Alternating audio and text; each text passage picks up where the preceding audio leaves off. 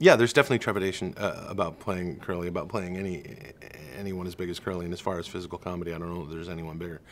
Um, and that's ongoing. You know, I'm constantly watching him and and constantly, you know, you're constantly trying new things. And you know, here's a guy that that as far as the shorts go, he was he was with the Stooges for you know over a decade.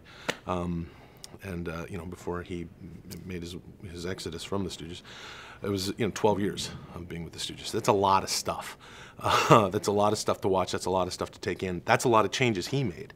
Uh, there were a lot of things he did in 1934 that, that he wasn't doing in 1939, and he would do completely differently in 1945. So, um, so yeah, it, it's something you got to keep watching, and, and something uh, that, that you really you want to do right. You want the you want the fans of the Stooges to to you know to enjoy it, to feel that you're doing it right, that you're paying it homage, that you know that, you know, because at the end of the day, we're all a part of this big, you know, love letter. What I love about Curly, I mean, among a lot of things, it, just his absolute, he's such a blind follower. He's just completely trusting of Moe and even Larry. But, you know, here's the, it's just, I mean, it speaks to these characters and, and what they are. They really, I mean, we've been, having also you know, we've been coming up with all sorts of different analogies that they're chocolate, strawberry, and vanilla, and what what each character you know just they complement each other so perfectly. And Moe is so at a 10 and Curly is at a 0 uh, with regard to if Curly's going to make a choice to lead you you know it because he's got to come in and do it and it's wrong you know but he'll try it out.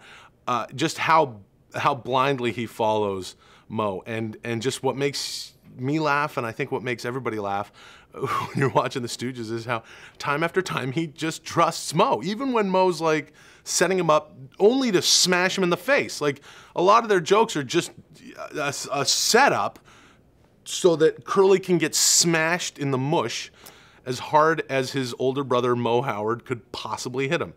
That's comedy these sorts of things that were that were comedy conventions back then that they were trying out back then that audiences loved then you know these pokes and and all this stuff I can't think of we were talking about it I can't think of a time when was the last time you saw that when was the last time you you heard that it's it seems really goofy and campy and yet it works and this is because of their legacy. People still love the Stooges, obviously. They still have a massive fan base. There's no one quite like them in that respect.